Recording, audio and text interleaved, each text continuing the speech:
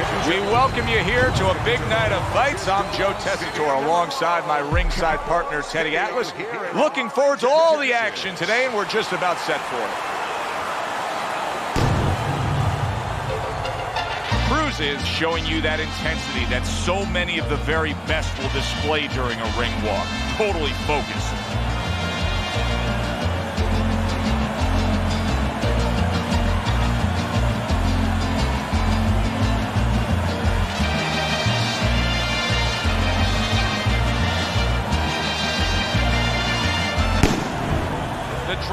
Making his way to the ring with a determined giddy up in his step.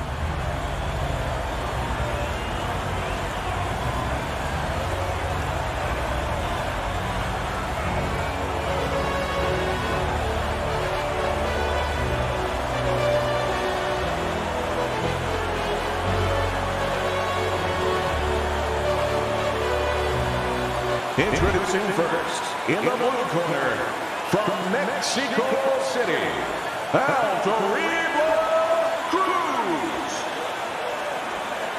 His adversary, fighting out of the red corner, the Dragon.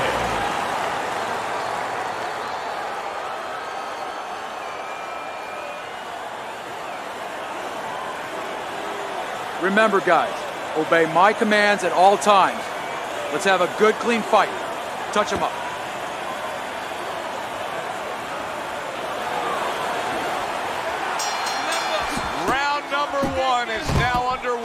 All the talk is done. It is simply time to fight. Takes one to give one. He comes back with a right hand. Choose your feet. Cruz's edge is speed. He can get in and out. He can get you offensively. He can get away from you defensively. Yeah, he has radial tires, and you got to take some air out of those tires. No better place or way to do that than go downstairs. The trigger right away with the left hand after getting tagged himself. He missed with that headshot. The Dragon's blocking ability is doing well for him there.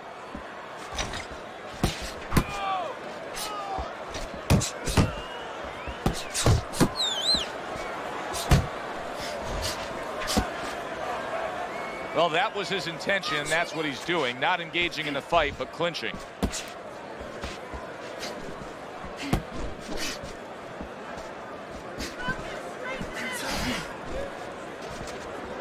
What a great job. He gave one right back in return. Nice work by the Dragon. He took a shot, but he gives one of his own. A left hand scores.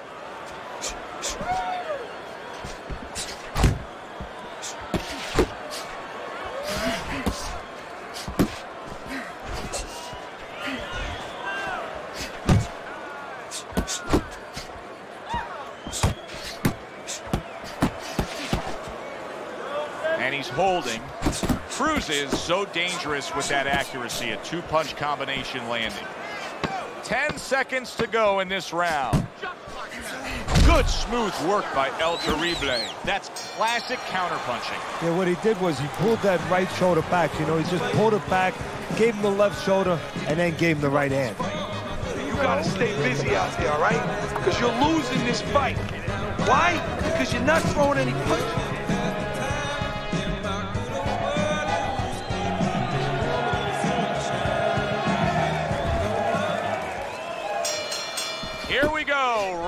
Two is underway.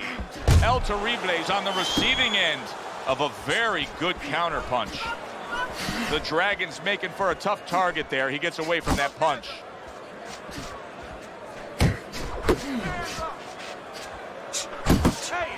Parries the punch, comes back with the hook.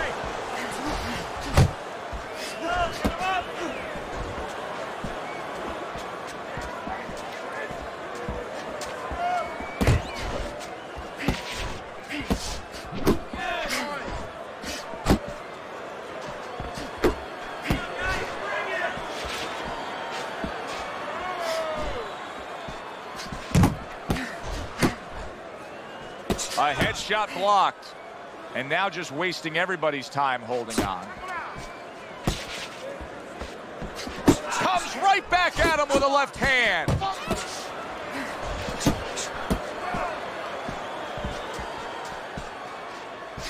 Went to the body there, but unable to connect.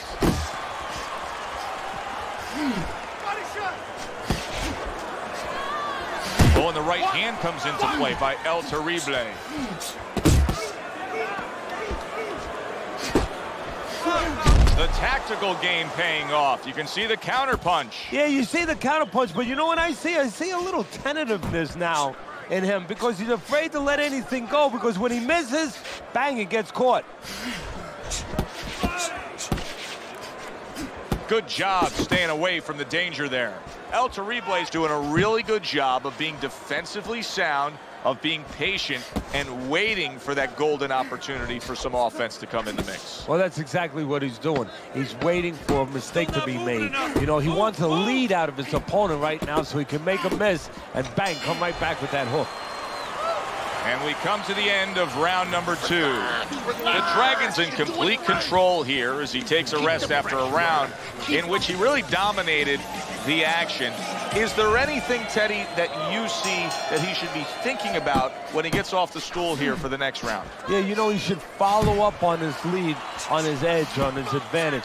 You know, he, I noticed that he's hurting him in the body. Well, now start to double up that hook. One downstairs, one upstairs. Cruz is able to land a nice, clean left hand.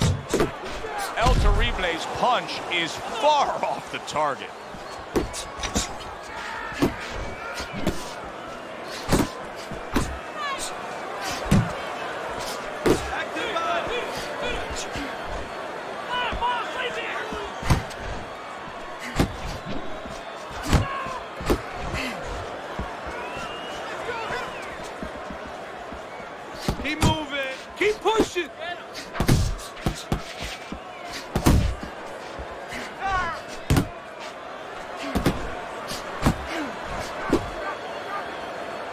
Now just wasting away some time with that clinch.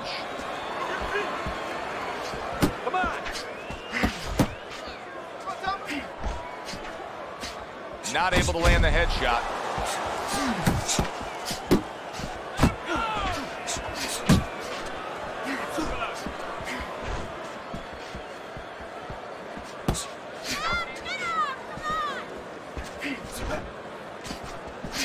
He tried to nab him up top, but was unable to connect. It's okay. Pay him back.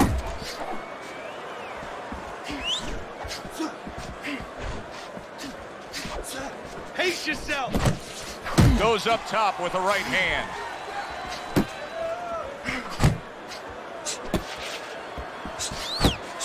Blocks the headshot.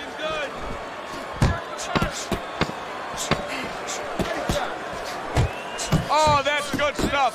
Firing right back with one of his own. Good work by Cruz.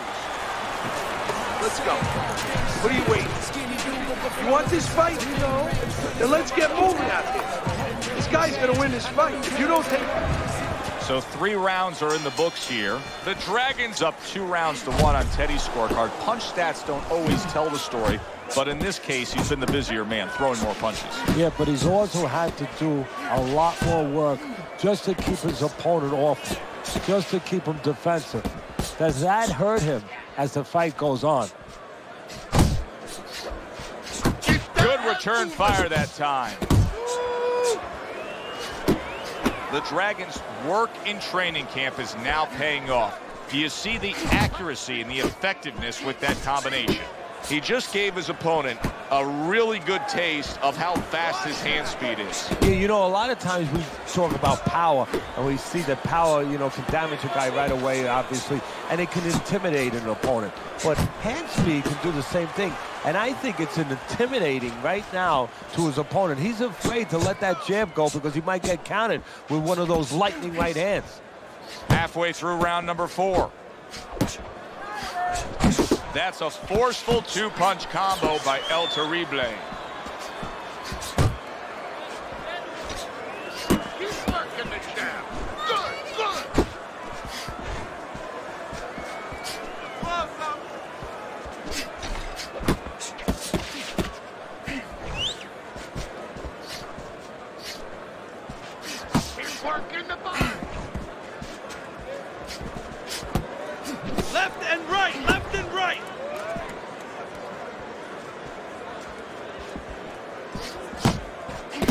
Couldn't hit the elusive target with that straight right.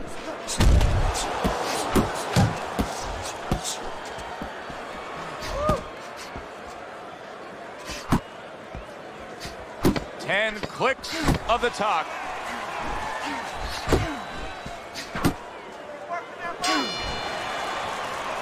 So they close out that round. Joe and Teddy with you ringside. Teddy, I know you watch uh, very closely how these trainers go about their business. You were under the tutelage of one of the true legends of the game, the great Cus D'Amato. Yeah, I mean, I was fortunate. Quite honestly, those opportunities, situations probably don't exist anymore because we've lost a lot of those, you know, really great trainers and managers that boxing was their whole life. I spent seven years with Cus D'Amato, and they learned the nuts and bolts from a physical, technical point of view of what's important to give to a fighter, but the psychological part. To understand the pressures that a fighter is under, the fears that a fighter deals with. And if you don't understand that, all the other things don't mean anything because you have to understand how a fighter is feeling to understand why he's behaving or not behaving a certain way. The Dragons putting on a show here, defensively putting on a show. And it's helping his offense because, you know, he's creating holes, he's creating opportunities, holes that he's filling as he makes his opponent miss.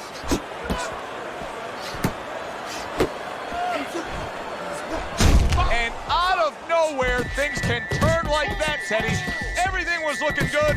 Now it's looking bad for him. Well, that's exactly why, because nothing was coming at him. His opponent wasn't throwing back. He got a little lax, and he paid a price. Cruz is the kind of boxer that wants to do just that. It, and bang, and away he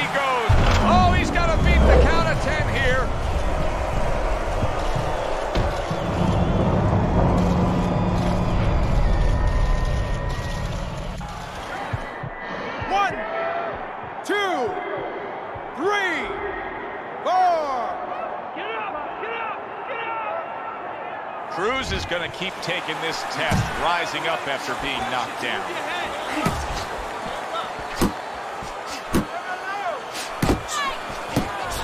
Nice strike after catching one by the Dragon. How about a return to sender with the left hand? Off to the side, a little swing and a miss going upstairs. Ten seconds remaining in this round.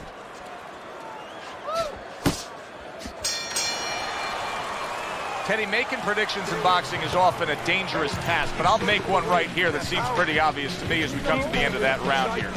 This fight is going to be a brutal display as long as it lasts. It's kind of like going and watching that home run contest. Nobody's trying to hit singles or doubles. You know they're all going for the fences. El Terrible is out to show everybody that he's fine.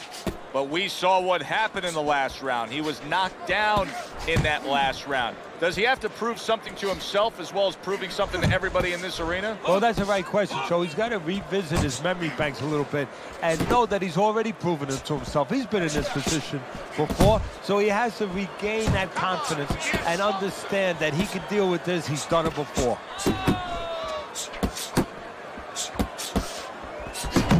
By sending more than one at him now, the combo to the head.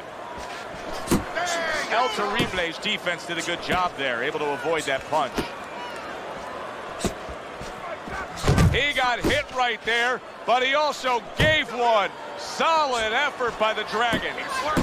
Cruz is doing well here with that two-punch combination. Halfway through round six.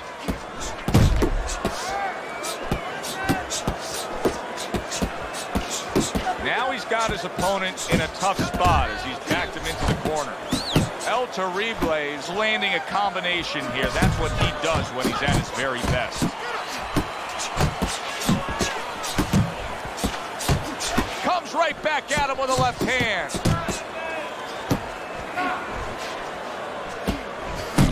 Oh, he is absolutely affected by that right hand. Never saw it coming. Worst kind of right hand you can catch. He should tie up here. The Dragons in a good rhythm defensively here. Teddy, what is that, a credit to his ability to anticipate? You know, also, it's the teaching. Let's give the trainers credit. Of course, let's give his background of the amateurs credit, but he learned how to get away from punches. This is technique that was taught to him.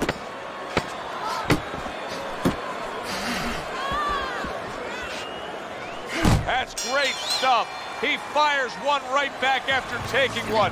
Gotta love the work by Cruz. Leaving yourself open too much. Cover up. It's over. He's tired. He's got nothing left. Here we go. Action to start the seventh round. The Dragon's got to be thrilled with what he was able to accomplish in the first half of this fight. And as we start this round, clearly he wants to keep things in the same order. Well, part of the testing of anybody being successful in anything, in boxing, in anything, is how do you handle prosperity? We're going to find that out right now. I know that sounds like a good problem to have, but does he get carried away with himself? You know, does he get a little cocky? We're going to see.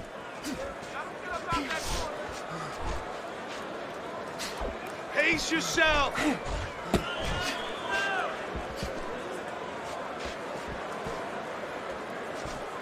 Keep it going. Uppercut.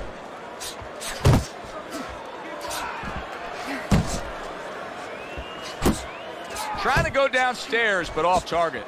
El Terrible's work rate is very high. I looked at the punch stats, and you can see that he's a busy guy. I don't think he's an effective guy, though. A lot of these aren't landing. Well, you have a reason to think that, Joe. Guess what? I agree. They're not landing.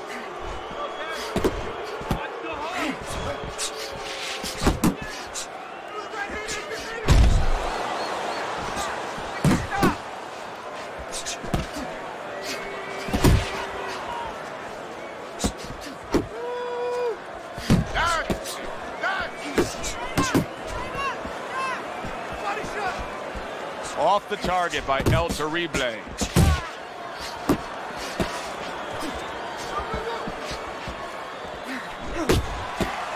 A well-placed left hand up top. Solid right by El Terrible.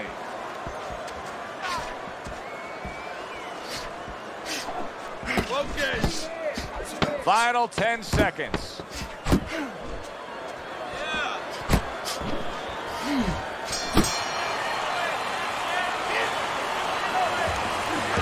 Hands go. You have to.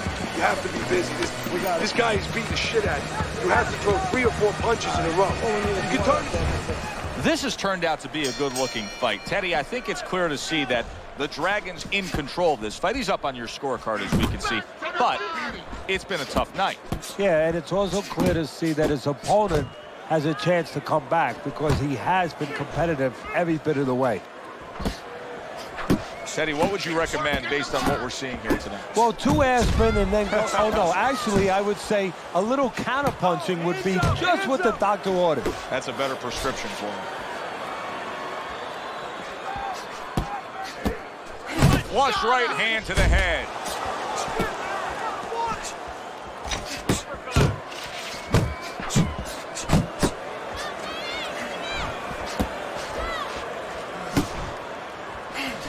Hitting his mark there going upstairs. away from those.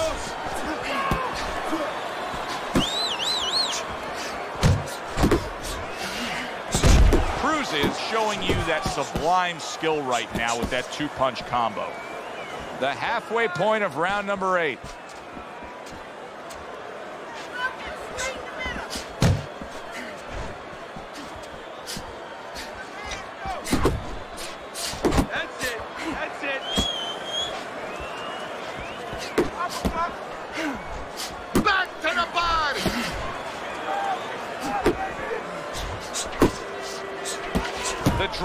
Missing the mark by a mile. That just was nowhere to be found. A little give and take, and here comes the left hand. Targeting each other, the exchange was something special.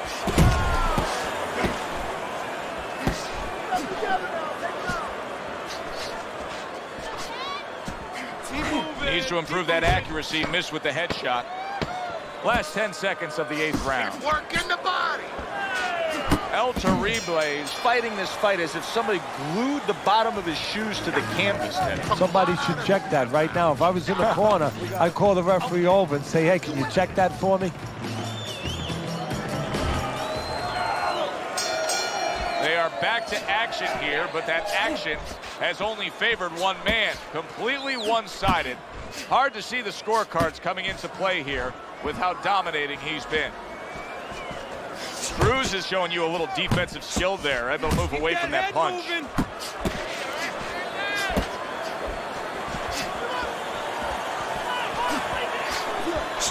Good shot to the head with that right hand.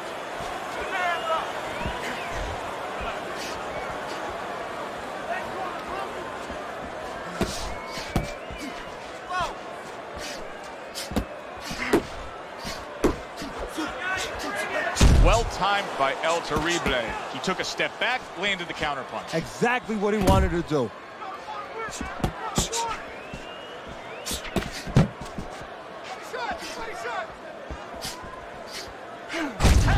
90 seconds into the ninth round.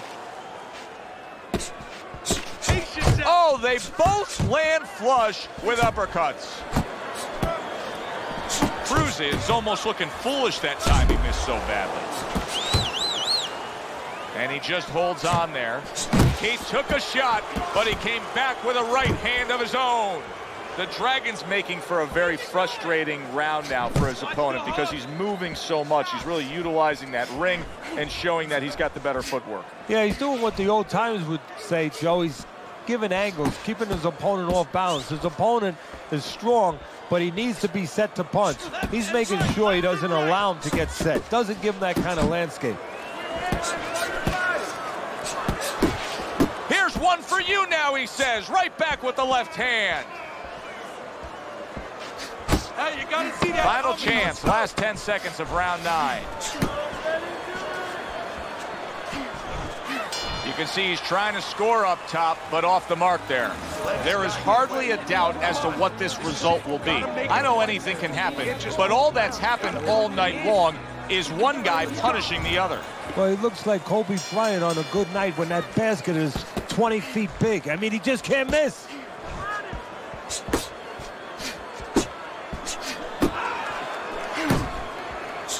He just missed that shot up top. That uppercut. Ap Did you see that? And he goes down again. Will he get up from this?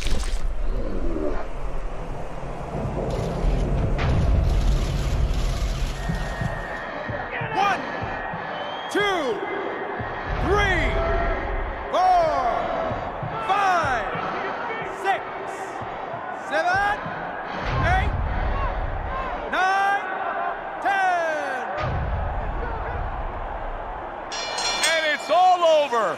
El Terrible's unable to beat the count. Knockout loss for him.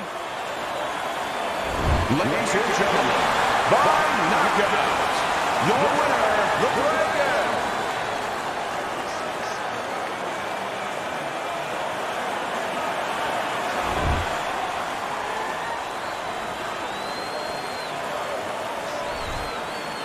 As we saw, he was up on your scorecard throughout the evening. The Dragons now a winner by knockout. Listen, you want to win, you want to get to a title, you want to be successful, but you want to make money. And this is one way to ensure you're going to make money, scoring knockouts. For Teddy Atlas, I'm Joe Tessitore. That does it ring.